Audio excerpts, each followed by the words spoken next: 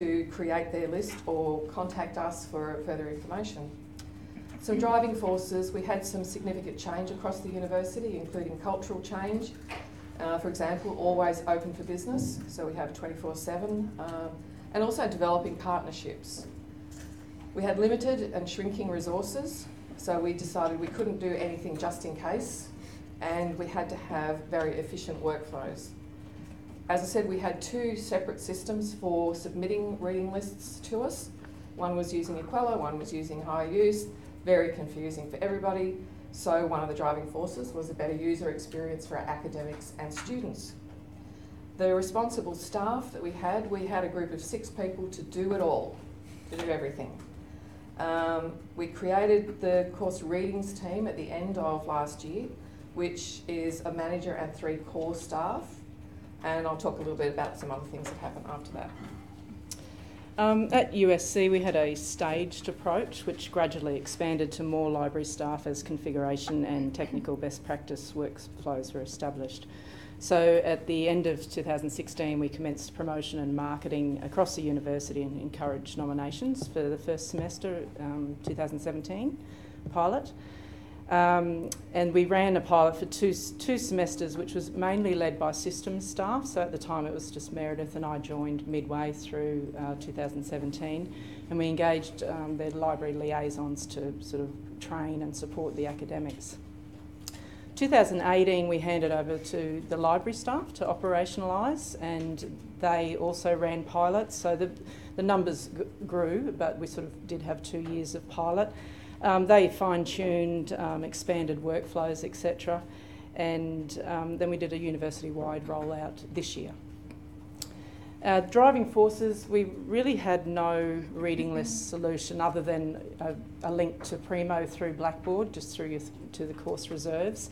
And there was no central place for course materials other than what was in our catalogue.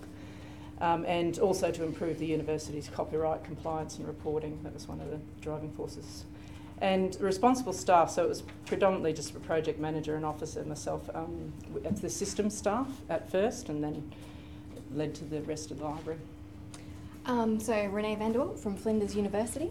We also did a staged approach. So, we had a pilot in semester one 2018. Um, so, we had 14 instructors, and that was about um, 38 topics took it up. Um, so, we had 40 reading lists because one topic decided to do multiple lists, so that was exciting. Um, we then rolled out to two full colleges and the pilots um, in semester two of last year. And the reason why we chose to do that is because we were doing the Equella import. So we um, previously at Flinders, we always did the reading lists. We did everything for the um, academics, and the academics were about to go through a restructure, so we thought this probably isn't a great time to uh, add to their stress levels. So we decided to continue the same service and just move all of our reading lists from our old system into our new system. Um, and the Equella import, while beneficial in the end, did take a long time but we got it done. So this year um, we had full um, rollout to the university with the readings LTI link embedded in every Moodle site by default. Um, so in semester two it was hidden, um, which caused some problems. So this year we made it by default unhidden, and if they don't want to use a reading list, they have to actively go in and hide it. Um, our driving forces were better reading list management for our staff. So um, previously, staff couldn't do anything to their reading list. There was a delay between getting readings to us and then um, to students. So we wanted to have a better service. Um, so it was about three years uh, Flinders was looking at a new reading list management system, and we went with Leganto because it gives configuration control back to the library, which we didn't have previously. Um, for the rollout, we had a project team. So from the library, it was me and Matt Hooper. I think a lot of you might know that name.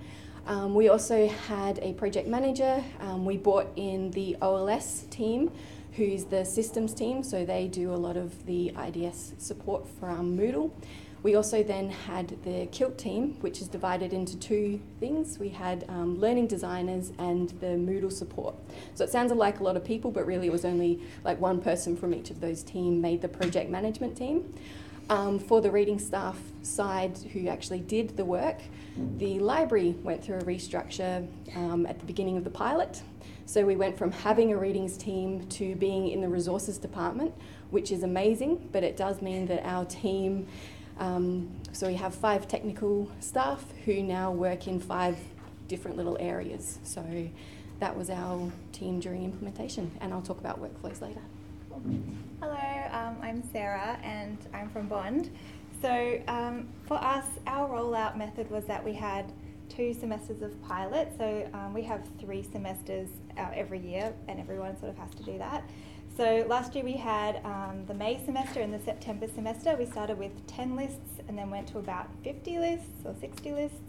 Um, and our idea was to just open it up to everybody in 2019, which we which we did. Um, so during the during the pilot, we had um, access to the Leganto sandbox for everybody who was involved from the library, academics, and in the project. Um, and we also had them linked up to like Blackboard sandbox sites as well, so they could have a really good play and a test before we went live or had the production um, software.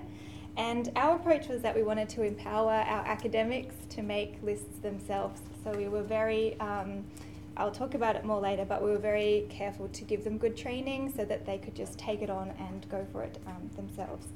So um, with the with our project, we had um, uh, as part of the project team, we had just Peter and myself. So Peter was the technical lead as well as project manager, and she's very experienced in both of those things. So we were very lucky. Um, I kind of acted for the librarian team, so I took on all those roles um, just for the for the pilot.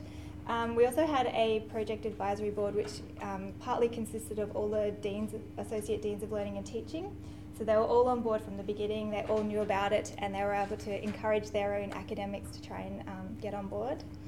Um, our reasons were that we, we had a sort of an end of life digitizations um, system that was a bit scary and could maybe topple at any moment. No, it was fine, but it, it did need upgrading. Um, we also had nowhere really to put any open access resources um, or uh, our archives. Um, and then the quality of citations inside of the Blackboard was very patchy to say the least. So, you know, missing metadata, links to things that we, or references to things we didn't actually hold copies of, and that kind of stuff. And we also wanted a better way to support copyright. Um, within the library as well, probably one of the main teams that was affected was our course reserves teams, so the people who do putting things into the short-term loans area and digitising. So talk a bit about that, um, more about that later. Hmm.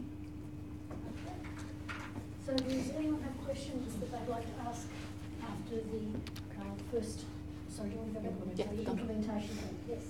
Renée, so with your ingress from Quella, yeah. were you, um, obviously you're creating citations you also the digital create digital representations of the records? No. So we, from Equella, um, we decided to just get the citations. So we got all of the citation information and put it through.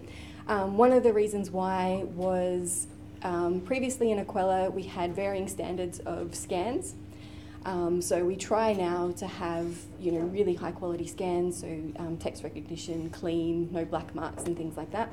But we did have a lot of stuff in Equella that perhaps wasn't needed or was really poor quality. So we decided this was a good opportunity um, to make sure that um, our quality of scans was good.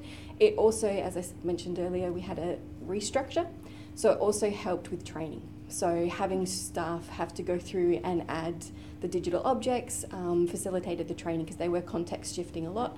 So even though it was a lot of work, it helped um, the workflow sink in for them. So yeah, we got all of the data from Equella, but yeah, manually imported the citation uh, scans as we needed them. I'm interested that you all took different approaches to the level of training that you gave to your academics. Can you perhaps variously comment quickly on how you think that affected their take-up of the system? Um, we do have a section in a little bit, Ah, staff and student okay. engagement, that might cover Yeah, some of those. Perhaps. Yeah. Actually, I've just got a question. Did any of you come from sort of an established unit of study system to Leganto? So we were using Sierra, and then we purchased eReserve. So we went through a two-year period of bringing everybody on board with that. Now we've got Alma Primo since the start of this year. So the question for us is, do we move from eReserve to Leganto? Um, so one question I have is, does Leganto permit easy sort of export of metadata from one system, which is pretty modern, to that system, and you get lots of, because we struggle, coming from Sierra to E-Reserve was, was a nightmare with the metadata. There was so much cleanup and hours spent on, on making sure that E-Reserve could read what we had, because it was pretty shocking. Um, but it's pretty good now because we've just recently, been two years ago went through it. Um, so would that work? Do you, have any of you had experience of bringing mass data across from a pretty modern system to another modern system? Well, not for, not for Leganto, we didn't. No, okay. Um, no. We went to Alma and, and Primo same time as Flinders at the end of 2013. Okay. And we continued using Alma for course reserves and Equella as a separate system, and they didn't, Sure. Equella didn't really talk to Alma. Uh, It was separate, so Yes, so the Equella import we did, um, it was basically spreadsheets, Okay. and we gave them to Ex Libris, and then Ex Libris loaded them into the system for us. Um, so the main time-consuming bit was us getting the spreadsheets out um, of Equella and in a format um, that um, Ex Libris could do it. But once we gave Ex Libris the files, They um, they did a test for us, and then they loaded everything in. So that was part of the implementation support we had. Okay, thank you. Yeah, we did. We didn't have anything previously. We just had Blackboard, so we were just making everything up brand new.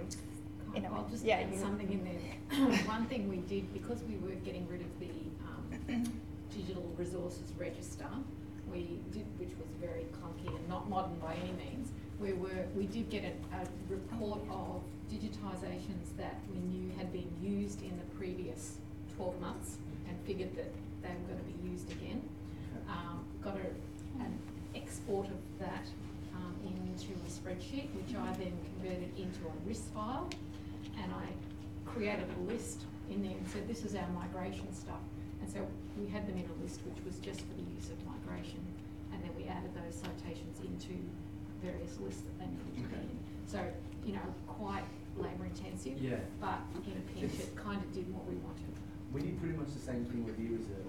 Um, I guess it's something for Ex Libris, but I'm just wondering if, if that export would be pretty compatible with Leganto, so you wouldn't have to go through the whole spreadsheet again, it would export into a format that you could just take across straight away. Because otherwise that in itself, you know, we've got so many lists.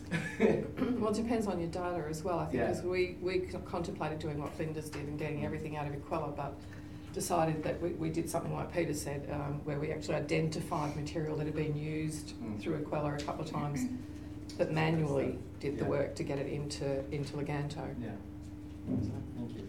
anyway, better move on to the next one. The second theme is relationships, effects and changes, um, structure and team changes. Not long before Leganto started, we actually had a restructure, so we sort of had to make Leganto fit with, with what we had um, and didn't make any changes.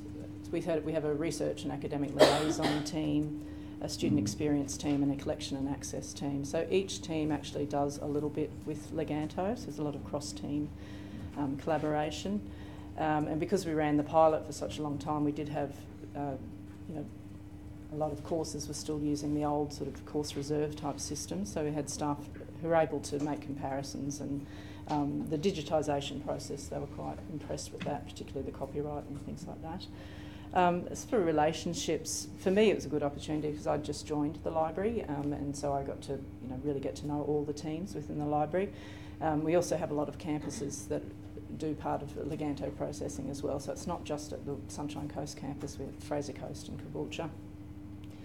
Um, it cemented a, a partnership with our teaching and learning centre, so both the technical staff, because we had to work together on the integration for Blackboard, and the support staff, they embraced Lega- Leganto straight away.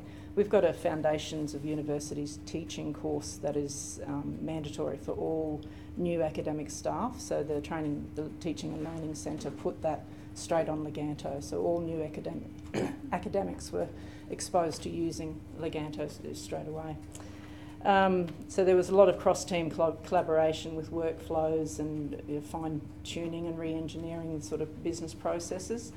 Um, I did a little staff survey um, on the library staff just to talk about the relationships, and most most people uh, answered the, the survey. People who didn't didn't have anything to do with Leganto. and 30% of staff felt that it strengthened their relationships with the academics. The other 70 didn't say it didn't, they, it just nothing had changed. Um, and about 35% of staff thought it improved relationships within their team and with other teams, so the use of Leganto. And 70% of the staff felt that it definitely changed responsibilities. Some volunteered the information that it increased their workload. Um, others enjoyed the challenge of Leganto. So yeah, that's about all. Um, so, from the library perspective, um, for relationships, I'll probably talk more about um, the university bits. So, as I mentioned, hinted at, we had a restructure. Um, so that meant readings, which effectively was me, moved down to the resources area, um, which uh, then has technical um, librarians, five of them, that work across document delivery, acquisitions, readings, all of those kind of things. So that was a big structure change and team change. So there's a lot of training involved. Um, but the resources team uh, is really um, collaborative um, and works really well together. So I think that that was actually a benefit um, to having Leganto come in because it helped. It had a project and we all um, banded together during that time. For the relationships built um, externally, uh, I've already mentioned OLS and CILT. So I, I like to say that the Leganto project helped uh, um, embed the library into their practices. So now um, the some resources staff members attend the OLS sprints. Um, so we've got tickets in there. Um, for the CILT team, we're part of the rollover process for Moodle sites. So we're just embedded in the rollover Moodle now. Um, so it's just part of default. We're in their little checklist, um, we're in their help guide. So it's really built the um, collaborative relationship there. We're also working with those teams to create best practice guides um, to look at um, you know best practice for students um, in their Moodle sites and things like that. There's also a teaching and learning framework that's come out at Flinders um, this year. So the future is looking like that we're going to collaborate with the teaching and learning teams to see how Moodle can benefit um, their staff and students in providing better experiences at university. Um, so I think that's a really great benefit that's come from the Leganto project um, that we're getting that kind of cross collaboration within the university. Um, so I think for me personally, I felt like the biggest impact in a way was on our um, course reserves team who do all the digitizations because um, we were asking them for the pilot to manage, you know, a small section of lists in one way and learn the software and then do the normal thing for everything else. Um, so there was that dual thing going on. Um, they also had new roles and responsibilities. So previously it was the academic asking the librarian for something who'd ask the course reserves person to do the work and then send it back up the chain or along the chain. Um, so now our course reserves team could um, actually speak directly to academics via a list. So that was new and different. Um, and they also had an increase um, in what they could do in terms of being able to suggest a purchase from the list too, which was brand new. Um, reliance between other teams um, yeah, became a little bit different as well. So the way that we've set it up is that we would like librarians to take a first look at any new list and then assign tags and statuses so that the course reserves team then can just pick those things up and work on them. Um, so previously it wasn't like that. It was it was a similar style with the emailing, but um, now they actually the librarians actually have to do a thing um, before the course reserves team can do their thing. So there's an extra reliance into team in that way. Um, and then we also had to just ask everyone to be okay with the evolving nature of Leganto. So between the monthly releases, um, between our tickets getting answered, and then also um, Peter and I trying to improve our processes, it was in a state of flux. So, you know, that's not always how everyone likes to work, but um, yeah, I think everyone yeah, got through it okay. Um, in terms of the relationships, we already had a really fantastic relationship with our IT services. So um, Peter had done a lot of groundwork in making sure that they knew this project was coming and working with them. Um, and I think it was a really good opportunity to, in, uh, with the project advisory group and project teams, just to know more of the executives in the university, um, as well as build more relationships with the Office of Learning and Teaching. So, to me, there was yeah a, a bit of that going on too. I was just going to say we all sort of did similar things, but we decided to concentrate on various aspects. So I'm going to say we did a lot of stuff that Sarah did. We did a lot of stuff that, so we did all of that as well. But um, for us, the the course readings team that we created, you know, they had to create all of these reading lists coming in. We didn't actually get librarians; they are the librarians, so they didn't have. They, they just got the reading lists. They had to process them, and all of a sudden they're all coming in. So we did get a lot of collaboration from other departments within the library, and got help from them to do things like the digitisation process, which is a lengthy process. It's probably the most time consuming for us. Uh, so we got them to do that, and we got other staff to help moving stuff into high use, so it was sort of divvied out a little bit. Our strategy, though, then had to become something like let's just concentrate on the material for the first three weeks of the semester, get that in and ready for the students, and then move forward. So it's a continual, it's ongoing, which is great. It's, it's actually working quite well. So we are trying to ensure a smooth workflow as well for various things like purchase requests. So we had purchase requests turned on so that the course reading staff, basically we're trying to get them to do everything. It's even changing now and perhaps getting them to do the ordering going forward, like they do everything uh, for those reading lists. We also did some of the things these guys said about relationship building, and I do think that we've got better um, visibility. The library's now got be- better visibility with the IT department, so they now do include us on things. And if they are making changes to Canvas, which is our LMS, uh, they do consult with us. We're also trying to help eliminate silos within the library. Um, and we worked with our learning designers, so they are the ones who kind of teach the academics how to use Leganto. We provided them with material and made sure they were fully up to speed before we started all of this. So, Annie. Any questions now on relationship building and implementing the grant? It might not be a question, it might be something that you did at your institution for Leganto. I've got a quick question. Sorry. Um, just in relation to the material, um, did that material come from Ex Libris, or did you have to write some of it? Material. Oh, so the training, the training. Oh, no, we wrote it all. Does Ex Libris have? They have some, but we didn't want to use it. Okay. We decided Is to that create because our you- own. You didn't think it was tailored well enough? Yeah, tailored well enough. We did FAQs and frequent, yeah, not frequently asked questions, quick reference guides as Okay. well. So some of the, yeah, the staff just decided that wasn't what they wanted to use, so they created their own, and they're continuing to create it as we move Yeah. forward, make changes, Yeah. adjusting it. And So- do you guys sorry. feel that the Ex Libris? Um, was we're on a sufficient? Oh, quite tight time frame here, and I want to give the lady back an opportunity to ask. Yeah, so I just want to revisit the digitalisation process. So at the moment, we have all our um, scanned images on a separate server. It's called Image Server. I think it's known as something else. You uh, and obviously you said um, previously you extracted extracted it out as an Excel sheet. Um, did you Respond. did Ex Libris actually help you align that to every reading list? Is that what you is that what you're saying? Yes, so part of our implementation, um, so we did move a lot over manually. Um, yeah, but I but want to avoid that completely. so if you've got, um, so part of the implementation, uh, if you've got a spreadsheet, um, or you get a spreadsheet, there's a certain way that it has to be configured, and then um, Ex Libris will load it in, and that creates courses, reading lists, and citations for Would you. be able to share It those is- somehow? I think it's in the knowledge. Um, It is in the knowledge. I think so. Okay. I'll double check and then um, yeah, catch me at lunchtime and I'll I uh, will. get give you my email. Okay, sounds great. It's a one-off option they offer as part of the implementation. Okay. Yes. I was going to say, You have when the pay chat we're pulling stuff in from the cloud, but we're actually pulling sort of citations from the digital objects in as well. We're just starting the process of doing that um, at USQ. So if you want to talk to us, and we're not doing implement servers, we're doing it ourselves using APIs and cross loader jobs that our Okay, systems all are right. running. Yeah, that sounds really interesting. again, Because I don't want to any manual labour in regards Yeah. to this, so if I It's still manual, but um, in a lot of ways, but if you want to catch me after, just say you don't want I will, I'm gonna speak to you. It was a big it was a big learning curve, so it's Okay, um, just to keep ourselves on schedule, we'll move on to the next. Yeah, hopefully we'll have time at the end for some more.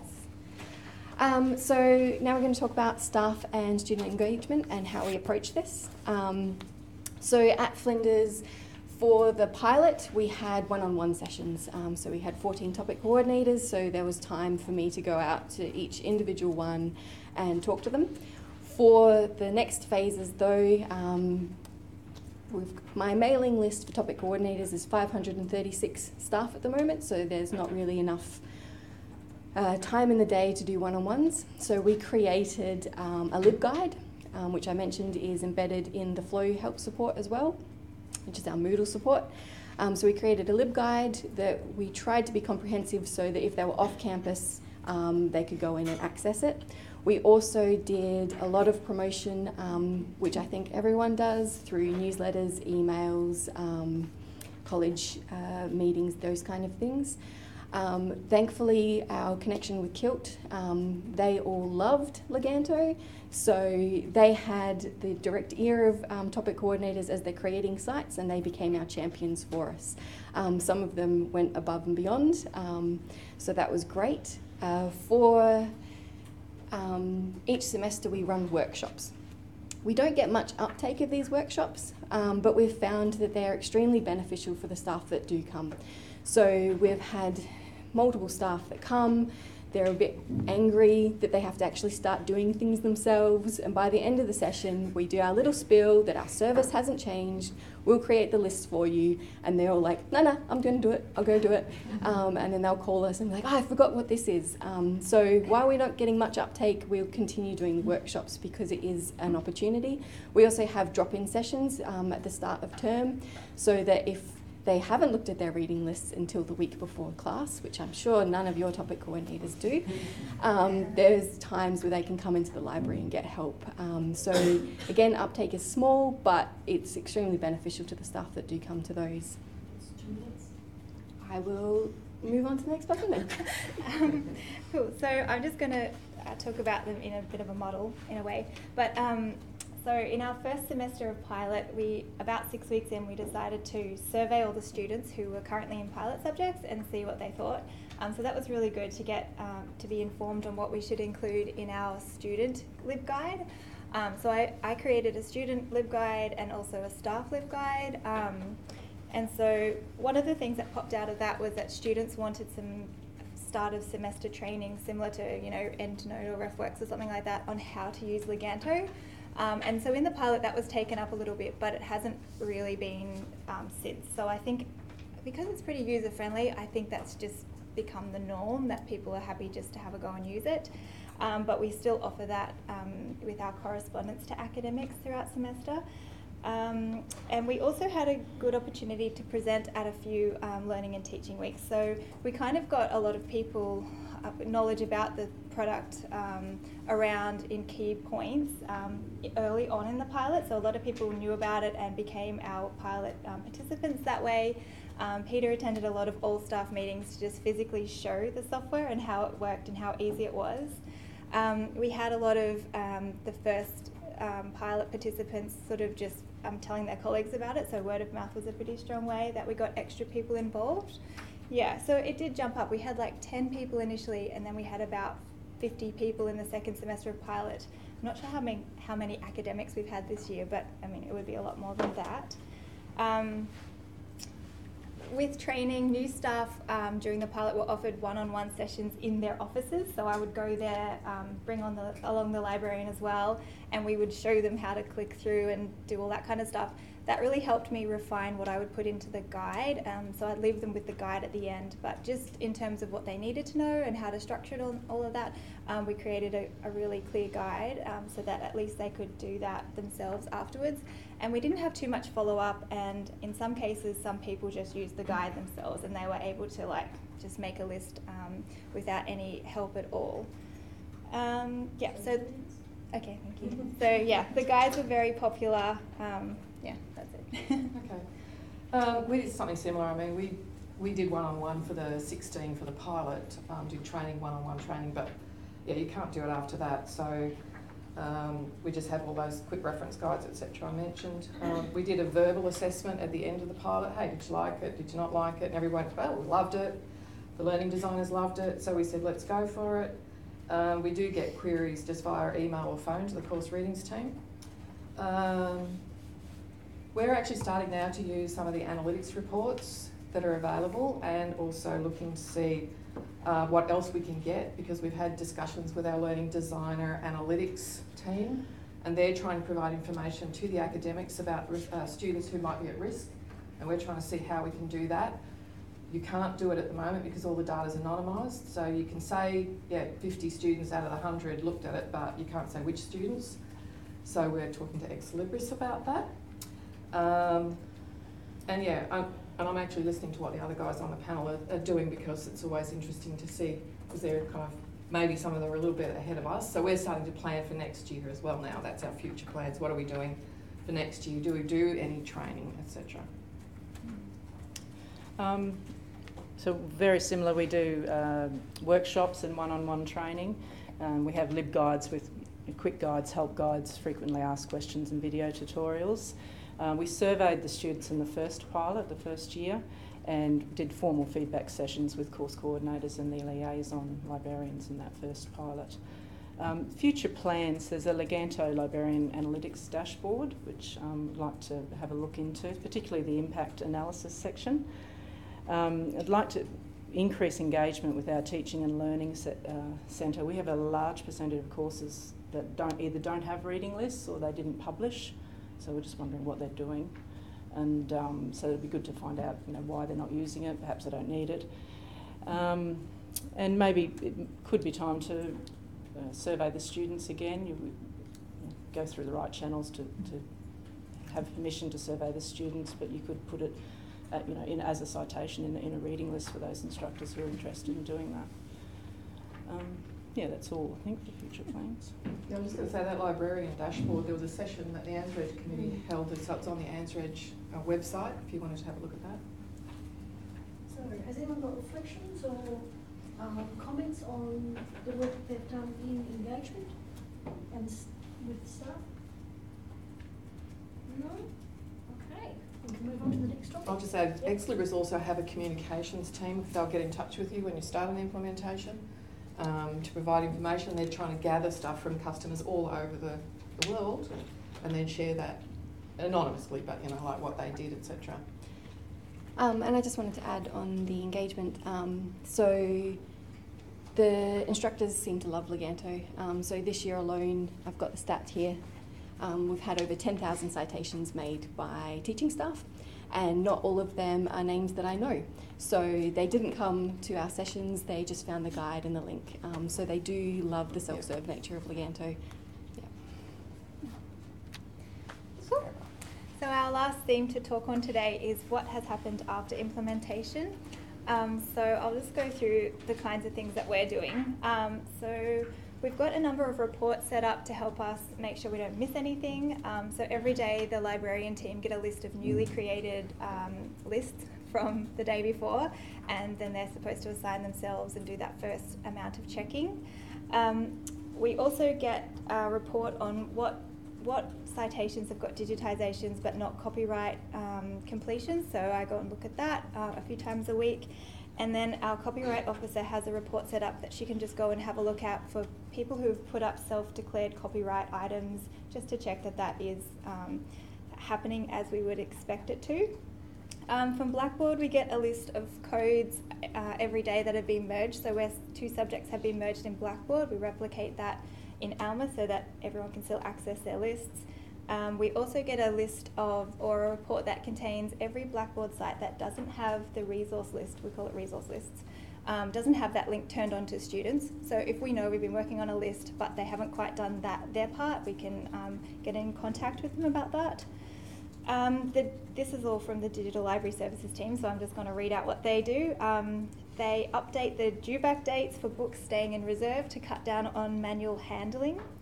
Um, they look after the, the rollovers, so in week 10, everything gets rolled over ready for anyone who wants to work on it. Um, of course, academics can choose to roll over at any time they like, but that happens as a bulk job. And then after the teaching period has finished, we lock all the lists so that people don't accidentally go back and work on an old list thinking they're working on a new list, and also so it preserves that um, list for that specific cohort to um, look back at. Um, and then ev- every week we get the enrollment, enrollment numbers um, updated as well. So now that the pilot's over, um, in my, I'm back in a librarian position. I'm just um, kind of acting as the Leganto liaison in a way. So I go to the monthly releases and then update the guides and our team if there's anything that they need to do. Um, keep an eye on the merged subjects, and then um, also every day check that broken uh, link report. So when students mark it as broken, I respond to that too. So kind of look after those things. Yeah, we did something similar with the monthly releases, check to see what's there. I mean, sometimes Leganto was getting missed. We had Alma and Primo, but not Leganto, so we try to make sure that teams know about that. Um, but one interesting thing that came up recently, people were asking me why they were getting this new pop-up screen happening when they changed something. And I said, well, what did you change? And they said, well, we took the slash off the end of the citation. So the title, it's got a slash on the end. And I said, why? why are you doing that? Um, so yeah, we're trying to keep an eye on what the staff, they seem to be creating work. Um, uh, with the course load, we were using the course loader until very recently. Now we're using the API to update our courses. And the rollover, we've activated the instructor rollover. Um, there's a bit of a question for us about the um, permalinks because you can only have the permalinks active in the old course or the new, or the reading list or the new one. And we'd like them to be still active because sometimes there's an overlap. Another customer's contacted me about that, so I'm trying to follow that up with um, Ex Libris. Uh, we're still going to decide, we still have to decide whether we're going to do a bulk rollover for next year, what are the pros and cons. We've also got reports to manage the lists and analyse copyright approval. And we always seem to be reviewing some part of the workflow to make sure it's smooth and automatic. Um, so we do the same with system staff work through the release notes and we demonstrate new functionality at a, a monthly meeting if there's something to show and if there's decisions on um, something to be enabled or disabled the team leaders at the meeting will, will decide on that and we test before and after the release. Uh, with the course load and rollover systems, myself and Meredith do the both the, the loading of the courses. Instructors, we don't allow instructors to roll over. Um, and we, we don't have any integration with our course system into Alma either, so I load all the courses before e- each semester and roll over. Um, I use a Power Query in Excel um, to prepare the, the course load files. Prior to that, I was doing you know, pivot tables and lookup tables and index formula in, in Excel, but I found Power Query to be much more effective. Um, and at the end of these slides, I've just recorded a couple of little slides, 15 minutes, very basic functionality um, on how to use, how I use the Power Query editor to, to prepare the files. Um. Oh, the reports and workflows. So I think that much the same uh, reports, checking of copyright. There's the digitisation process is quite long, and there's one last step at the end that the way we've configured our system, you have to manage the digital representation. That's often missed, so we do a little report to, to make sure that's been ticked. Um, and the operational staff have changed workflows quite um, significantly since I handed them over. So we used to do it through reading lists, but now we use the citation menu and do that. And we've built quite a few citation statuses because we've got staff all over the place in different campuses. Um, we sort of use the citation statuses a lot to you know, know wh- which team needs to work on what, um, different things. And I, I provide staff training ideally before the start of semester for, for library staff. The last time I did training, they requested a, a full overview rather than just the little bit they did. So I think they appreciated the whole um, you know, start to finish from what instructors do, what we do, and right through to the end. Um, so similarly, we do monthly um, resources staff We'll look at the monthly release. Um, we will do some testing in the sandbox if we need to, um, and we might have like a little think tank to see what we want to turn on um, or not. And we do that for Alma, Primo, and Leganto. Um, we've got a direct feed from Moodle that brings in all of the um, course information um, so that it's there um, and uh, it updates the student numbers, but we are getting that locked at the census date so that they won't update because Moodle will go to zero at the end of the course, so we don't want to lose those numbers. Um, we have both rollover options available, so we have turned on rollovers for instructors and we also do a bulk rollover. Um, so we're actually Monday doing our prep for our next bulk rollover. Um, so we do that, and then we also bulk publish um, a couple of weeks out before. So we time our bulk rollover so that when instructors have access to their Moodle site, they also have access to readings, which in the past is not um, a practice at Flinders. Used to be they'd get their reading list four weeks beforehand, but now they're getting it, um, you know, the 90 days before topic starts. So that's a good move. Um, for the workflows, we have a schedule. So one of our technical staff is um, assigned to do Leganto one afternoon noon a week. So they'll go in and they'll look at the um, citations ready for processing um, queue. Um, and if they're not assigned to the um, Leganto, but they've got time, they can go in and we've got a library processing um, of reading lists. So they'll go in there and they can grab work. So we use the inbuilt um, reading lists and citations and task lists for our workflow, and staff just go in there and pick up um, work whichever way they can. Um, we also have a dashboard that we've created which has our reports for picking up items that don't have managed digital representations. Um, we've got our resources are hidden from Primo using the access right. So if you're interested, I can explain it at lunchtime. but basically, access rights then become really important um, in the digital repository. So we've got a report to pick up that to make sure that it happens so that they get suppressed from Primo. Um, we've also got reports on usage, and we're going to, in future, look at how we can use those reports um, to provide better services for students and staff. That's it. So that's the. Any other questions on that one? Yeah, has anyone got any questions on after the presentation or comments or Greg? thoughts? Yes, Greg. Um, we, we just really started with, with Leganto Live this year, um, and we're, we're doing a bulk course load of five thousand courses a semester. The take up is something like three hundred lists for those. Uh, are any of you going back to analyse which courses you've got that have no lists created and then weeding those out? Yes. Sometimes people keep getting an analytics report that accurately says this, is- this is a course but there's no list. Um, I think there's something in the list recently Yeah. about that. Yeah. Um, so I've forgotten which university. No, I can't remember, had but it. we, we were all struggling with that a bit, I think. Yeah, and I have just made so I did a report of reading courses that had a reading list, and then I did another course uh, report in analytics that used the based on another analysis um, to pick up courses that don't have reading lists, but we haven't tested to see if it works properly. I'm pretty sure it was Peter. Peter posted something Yes. recently about the same sort of thing where, um, where you can identify the courses that don't have reading lists. Yeah, And it I feel. I feel like it does work. Yeah. Uh, one issue I have is trying to get a report with start and end dates accurately for courses though, and that, that could be useful for identifying like past courses that you just wanna get rid of those course records. Yeah. I mean, we'll have a, Yeah. I guess everybody's got a sort of a retention policy on reading lists. Um, but these are courses. Yes, we're to not come out. deleting any courses that have reading lists. We're only deleting the courses that haven't used the reading list. Yeah. Um, I wanted to ask a question about resourcing the workflows, so the people doing all these different tasks. Lani, you don't have to answer this question because I know the answer to some questions. Um, so just in general terms, as far as the people that are doing these tasks, are they, um, new people on the top of your established staff or people that are being retasked?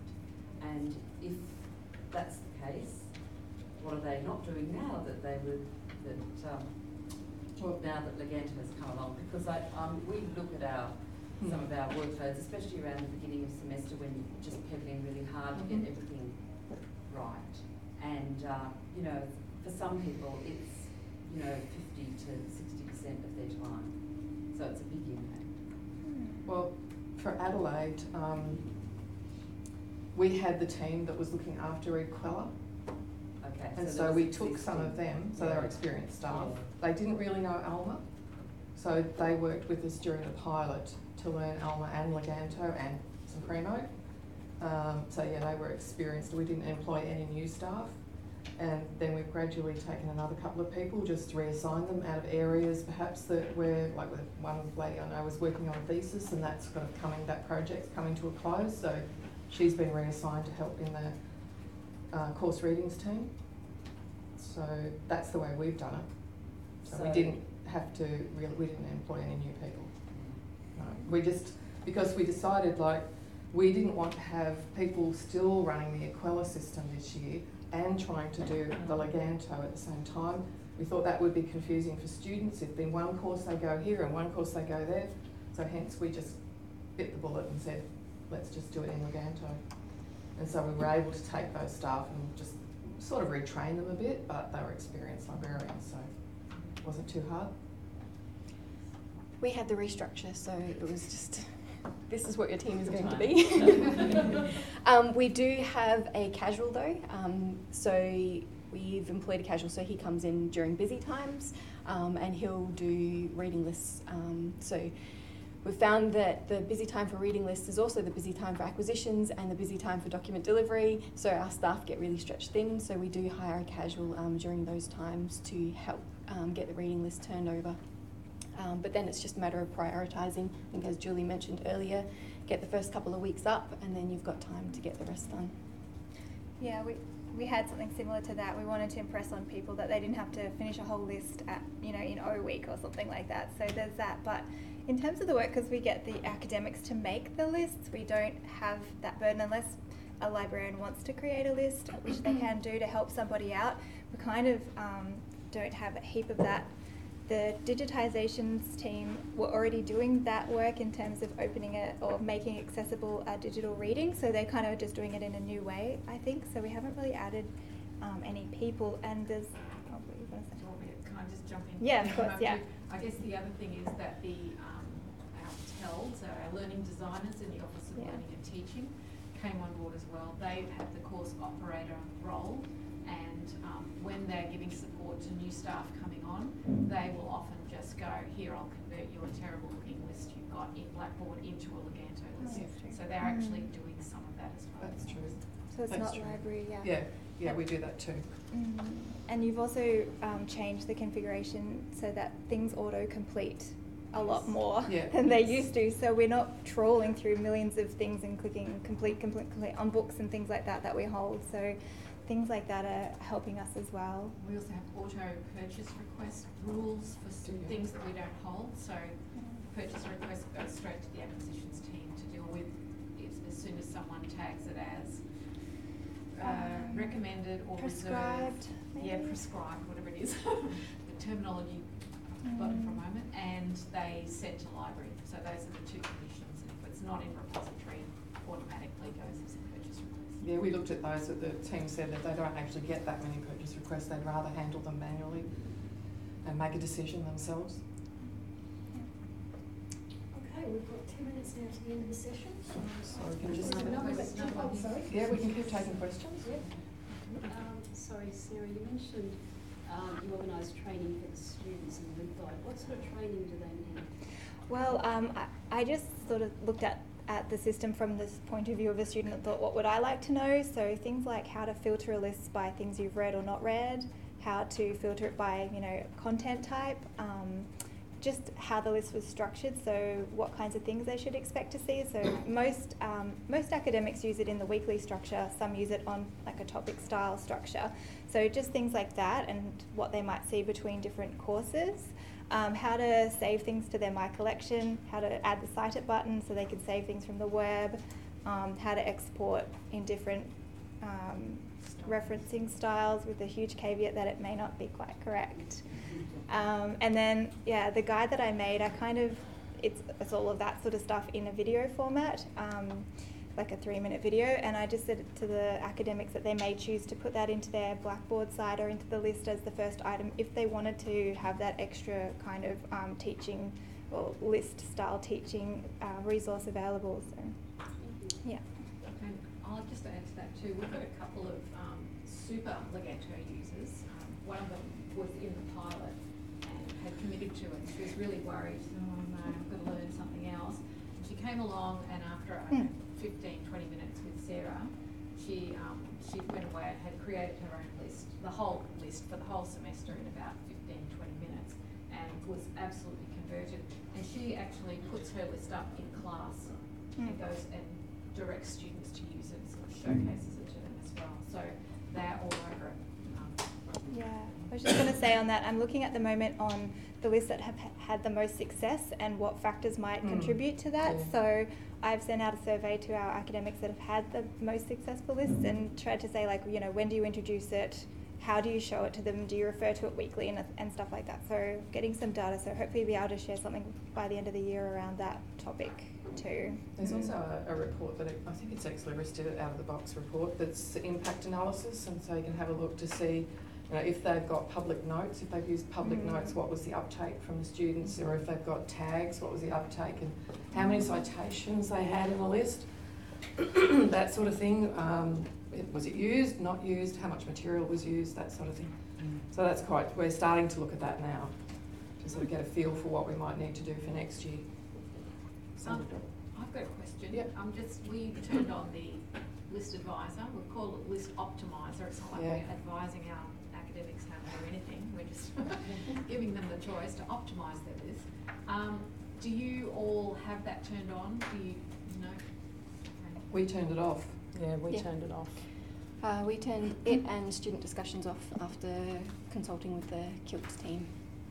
We have, we have students' discussions off by default, but the academics can still turn that on if they want to. Yeah. Yes. Yeah, we don't advertise it though. No, we don't advertise it either. We don't advertise much at all. We just find that they, we rely on their digital literacy and, and how easy Leganto is to use. And we found, even though pe- people we didn't contact at all, because we did do that at the beginning of this year, um, all of a sudden there's reading lists because they just found it and they just started, and it is easy for them to actually create a reading list, so. Yeah, the um, exporting function for students is something that we promote a lot, but as you Yeah, said, it's do not the need a big asterisk next to it. One more. one more question. Just a question to share, so just, um, we're having dreadful trouble in hiding our digital representations from Primo. Um, do you have VE or what are you on? We're in Primo, but uh, I didn't mention it because time ran out. But digitisation is a big pain point for us. Um, so next week, actually, um, we're going to review our entire digitisation process. So at the moment, we have separate digital bib records, and we hide those bib records from Primo. But I know that other universities do different ways. Yeah, there's lots of Um, different things to do. Yes, but They all have problems, but. it all depends on how you're configured. So um, we've got other digital collections, so we couldn't hide all of those. Um, so I think s- other people might use the public notes function. Um, so we're gonna, I was gonna try and hit up a few people at lunchtime, um, and we're gonna investigate that. So it is. Where, where's pressing our digital records, but the digit process is pulling the holdings from the suppressed digital records into our physical and electronic records. Same title, it's really good. I just want to, I just want to share just the way we're doing rollovers at USQ because it's a little bit different. So we've actually got ours triggered from Google Course Migration. So when an academic does their course migration Google, an automatic process triggers back to using the API and then Leganto, which in the overnight to run and does automatically does the rollovers because we're not touching it. So as we're still on pilot, but it's working. Something a little. Do you want Menti. Four Menti. minutes. The Okay, link. so, um, that, that's Oh, the and the code, if you wanna last- have a go and I just think go she's just log getting into menti.com, and if you haven't already. And the code is two six four one five six, hopefully that still works. And it doesn't matter if you don't use Leganto, just any, any reading list, what, what you think in one or two words, what makes a successful list. And we'll have a look at the results in a minute. Or you could. Is it live? Yeah. Oh, yeah. So we can bring it so. up as it. Yeah. You should show your last slides so quickly. Oh, yeah. Um, If you just go to that other one. Gosh, just leave my glasses on. Any other comments or questions while we're Oh, there waiting? you go. Ooh. I've, just, I've got a quick question. Um, we got user, one of the Oh, things it's not on the struggled screen. was that the university didn't offer an industry-based course. So you could have different faculty, students from different faculties all attend the same lecture, the same course. But user was built on a container that was tied to, to a discipline. So as a result, we couldn't list the course because it couldn't, it couldn't be uploaded into the system. And then they had to recode it and it was all, it was really complicated. Have you come across anything where Leganto, the, the structure of it meant it couldn't service your requirements? No, No. Okay. no, we've just, sometimes we've created courses manually in Alma if they haven't come through from the Canvas feed. Yeah. Uh, and then made sure owners, because you have to have an owner on the, on the course and the reading list, etc. And that all seems to work just fine, they can get through, as long as they can get through it from Canvas, Yeah. that link works. And you're, you're on Canvas, aren't you? Yeah, we can as well, Yeah, so. yeah. okay. No, we haven't had any problems. Thank you.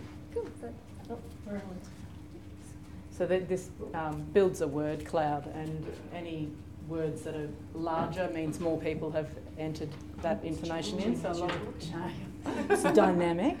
Um, so relevant is obviously something that a lot of people have read, uh, entered accurate to date. yeah. Links work. Next work just went up a bit higher. Yeah. Concise. Yeah, we did find from the analytics reports that um, more citations doesn't necessarily mean students look at everything. No. There's a, what we were saying, I think, about twenty to Mm, 20 to twenty-five. 25 seems had the highest to be impact that for our um, Ideal Yeah. kind of number of citations. We find ones that are um, broken up into sections are much easier for students to navigate, so we find that they come back to those resources again and again. And Rather if than they- just going in a list, seeing 50 and getting daunted. We just find if they don't, if that first one doesn't work, they move into the next one as well. If it's electronic resources, they just give up, they just go to the next thing. That's how students work. I was gonna- Oh, yeah. yeah, And that's, slides. oh, that's the, um, the links to the Power Query, how I, how I use it. If you're gonna cope with my voice, my monotone voice, and me saying um forty-five times. But, uh, they're about fifteen minutes long, but it, it's obviously not gonna work for everyone, because everyone, you know, has a different structure for their courses. But if anything else, it might show you how to, u- how easy that tool is to use in Excel, if you haven't used it before. We've got our contact details in the, our email addresses in the slides. No. Oh. Okay. Um, can I ask everyone to thank uh, Julie, Lani, Renée, and and thank you for being brave enough to take a, a new um, approach to the presentation. It was really interesting. Thank you. Thanks, Sarah, for the PowerPoint. Thank you very much. Okay. Yes, thanks, Sarah. Okay, we're going to break now for lunch. Um, and